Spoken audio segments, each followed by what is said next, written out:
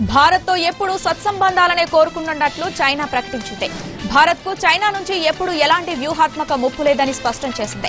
ఢిల్లీలో చైనా రాయబారి సన్ బెడాంగ్ ఈ మేరకు కామెంట్ చేశారు. భారత్ చైనా మధ్య ఎన్నో ఏళ్ళుగా సత్సంబంధాలున్నాయని ఇప్పుడు వాటిని విస్మరించడం సరికాదని ఆయన అన్నారు. రెండు దేశాల ఆర్థిక వ్యవస్థలు ఒకదానిపై ఒకటి ఆధారపడి ఉన్నాయన్నారు. ప్రపంచం ముందు ఇప్పుడున్న ఏకైక శత్రువు కరోనా మాత్రమేనన్నారు ఆయన.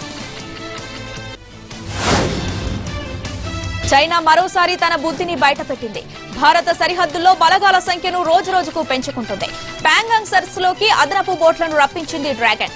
చర్చల తర్వాత వెనక్కి వెళ్ళినట్టు చెబుతూనే కవ్వింపు చర్యలకు పాల్పడుతుంది.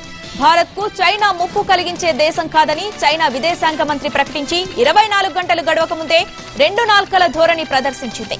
శాంతి మంత్రం పాటిస్తున్నట్లు నటిస్తూ ఎల్ఏసీ వద్ద బలగాలను పెంచుకుంటుంది డ్రాగన్. భారత్తో ఎప్పుడు సత్సంబంధాలనే కోరుకున్నట్లు చైనా ప్రకటించింది. భారత్కు చైనా నుంచి ఎప్పుడు ఎలాంటి వ్యూహాత్మక ముప్పు లేదని స్పష్టం చేసింది. ఢిల్లీలో చైనా రాయబారి సన్ వెడాంగ్ ఈ మేరకు కామెంట్ చేశారు. భారత్ చైనా మధ్య ఎన్నో ఏళ్ళుగా సత్సంబంధాలున్నాయని ఇప్పుడు వాటిని విస్మరించడం సరికాదని ఆయన అన్నారు. రెండు దేశాల ఆర్థిక వ్యవస్థలు ఒకదానిపై ఒకటి ఆధారపడి ఉన్నాయన్నారు. ప్రపంచం ముందు ఇప్పుడున్న ఏకైక శత్రువు కరోనా మాత్రమేనన్నారు ఆయన. చైనా మరోసారి తన బుద్ధిని బయటపెట్టింది. భారత సరిహద్దుల్లో బలగాల సంఖ్యను రోజురోజుకు పెంచుకుంటుంది.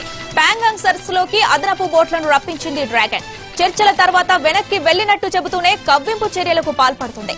భారత్కు చైనా ముప్పు కలిగించే దేశం కాదని చైనా విదేశాంగ మంత్రి ప్రకటించి ఇరవై నాలుగు గంటలు గడవక ముందే రెండు నాల్కల ధోరణి ప్రదర్శించింది.